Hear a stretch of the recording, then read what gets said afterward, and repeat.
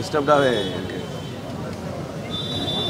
பல வருஷமாக நாங்கள் சேர்ந்து பயணம் பண்ணிகிட்டு இருக்கோம் படத்துக்கெலாம் பாடியிருக்காங்க குடும்பம் மாதிரி இருந்திருக்கோம். முதல்ல அவங்களோட அம்மா இழப்பு ஒரு பெரிய இழப்பாக இருந்துச்சு. இன்னைக்கு இப்படி. அதான் சாருக்கும் கார்த்திக்கு இவனு எல்லாருக்குமே குழந்தைங்களுக்கும் எல்லாருக்குமே கடவுள் சக்தியை கொடுக்கும். ஆனால் இவ்வளோ வலியை வச்சுக்கிட்டு காட்டிக்காமல் இருந்திருக்காங்க. விபத்தில் சந்திக்கும் போது கூட எதுவுமே காட்டிக்கல சிரிச்சு தான் பேசியிருக்காங்க. அதாவது ரொம்ப பணிவாக எளிமையாக இருக்கக்கூடியவங்க. இது வரைக்கும் அவங்க கத்தியோ சத்தம் போட்டு பேசி கூட நான் பார்த்ததோ கேட்டதோ இல்லை என்ன சொல்கிறதுன்னு தெரியல. இந்த மாதிரி ஆடி போயிடுச்சு. சாரி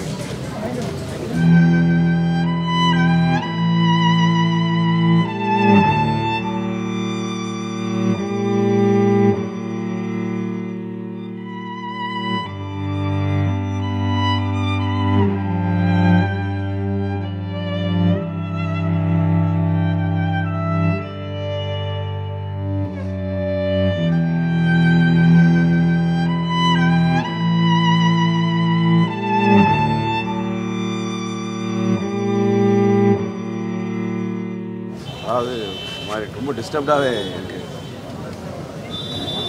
பல வருஷமாக நாங்கள் சேர்ந்து பயணம் பண்ணிகிட்டு இருக்கோம் படத்துக்கெலாம் பாடியிருக்காங்க. குடும்பம் மாதிரி இருந்திருக்கோம். முதல்ல அவங்களோட அம்மா இழப்பு ஒரு பெரிய இழப்பாக இருந்துச்சு. இன்னைக்கு இப்படி. அதான் சாருக்கும் கார்த்திக்கு இவனு எல்லாருக்குமே குழந்தைங்களுக்கும் எல்லாருக்குமே கடவுள் சக்தியை கொடுக்கும்.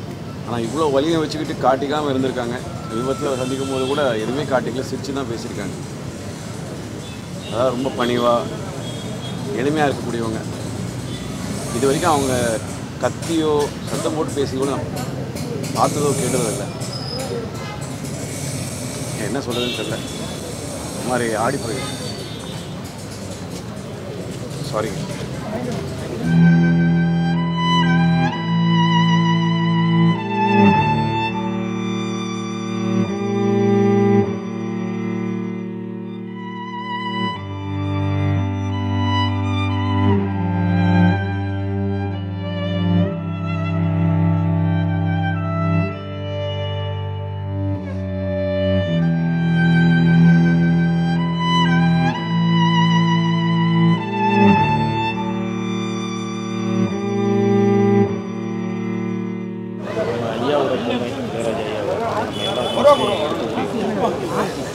மைக் போல ஒரு பொண்ணு அப்படின்னு ஒரு பாட்டு நேஷனல் அவார்டு வாங்கினாங்க. தமிழ் மொழி இல்லாமல் தெலுங்கு ஹிந்தி எல்லா மொழியும் வந்து அவங்க இசையாக அமைச்சிருக்காங்க பாடியிருக்காங்க. யாருமே எதிர்பார்க்காது டக்குன்னு இன்றைக்கி கேள்விப்பட்டோன்னா ரொம்ப ஷாக்காக இருக்கும் ரொம்ப வருத்தத்தை நம்ம எல்லா வீட்லேயும் டிவி வானொலி எல்லா வீட்லேயும் இருக்குது நம்மளோட எல்லா வீட்லேயும் இன்பம் துன்பம் எல்லாத்துலேயும் நம்ம இளையராஜா பங்கெடுத்துருக்காரு அது இந்த பூமி உள்ள வரைக்கும் அது மாற்ற முடியாது. அதையும் தாண்டி அவர் மனசுலேயும் ஒரு வழி இருக்குன்னா அது இன்றைக்கி தான் ஏன்னா நம்மளெல்லாம் சந்தோஷப்படுத்தின இசை இளையராஜா அவர் இப்போ ரொம்ப துக்கத்தில் இருக்கார். அதெல்லாம் ஈடு செய்ய முடியாதுங்க. ஒரு பொண்ணை பெற்ற அப்பாவுக்கு தான் அந்த வழி தெரியும். அந்த இழப்பு அனுபவிக்கலாம் தெரியும். கடவுள் நம்மளை ரொம்ப சோதிக்கிறான். திரைத்துறையை ரொம்ப சோதிச்சிட்டு இருக்கான் இந்த இந்த வருஷம் ஃபுல்லாக சினிமாவில் வந்து ரொம்ப நிறைய பேரை சோதிச்சிட்டு இருக்கான் அது என்ன சாபமோ பா இது கர்மமோ தெரியல. நம்ம நாட்டின் மக்களையும் நம்ம சந்தோஷப்படுத்துகிறோம் ஆனால் நம்மளை யாரும் சந்தோஷப்படுத்த யாரும் ட்ரை பண்ணல. நம்மளை நம்மளே சந்தோஷப்படுத்திக்க வேண்டியதான் அது ஏன்னா இளையராஜாவுக்கு நம்மளாம் இது ஒரு இசைஞானிக்கு நம்ம யாரும் சொல்ல முடியாது. பட் கடவுள் தான் அவருக்கு அனுகிரகம் கொடுக்கணும். ரொம்ப இழப்பு.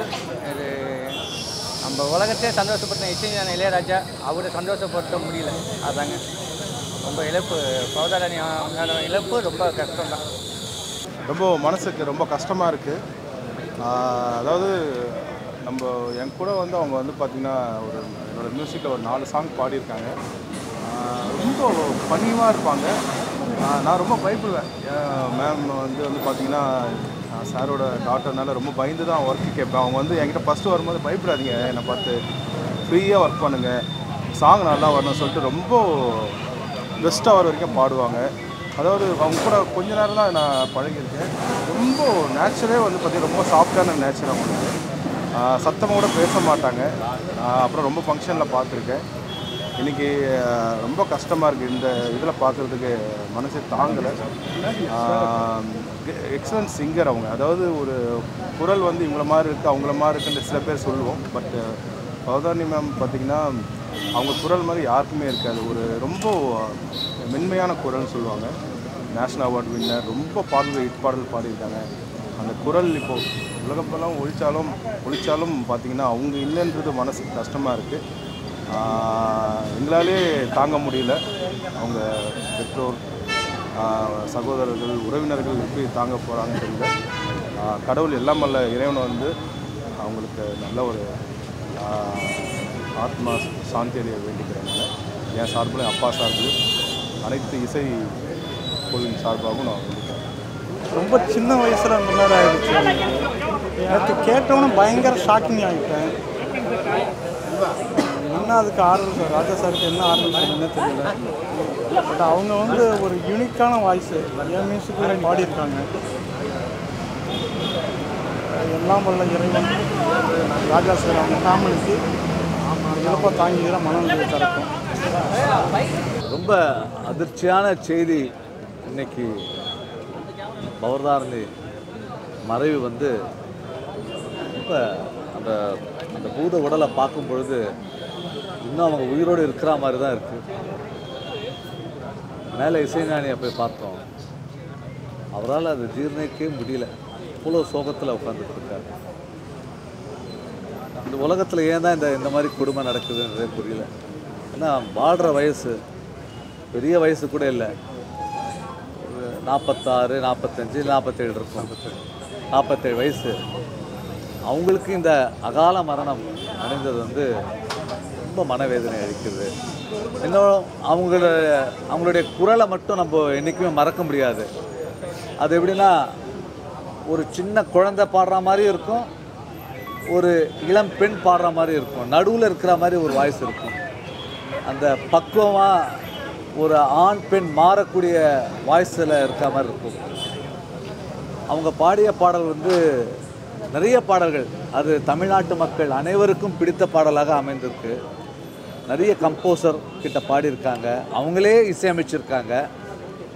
அது மட்டும் இல்லை எங்களுடைய இசைக்கலைஞர்கள் சங்கத்து சங்கத்தோட அசோசியேட் மெம்பராக ரொம்ப வருடமாக இருந்துகிட்ருக்காங்க ரொம்ப அவங்க ரெக்கார்டிங் வந்து பாடினாலே அவங்க வர்றதும் தெரியாது போகிறதும் தெரியாது.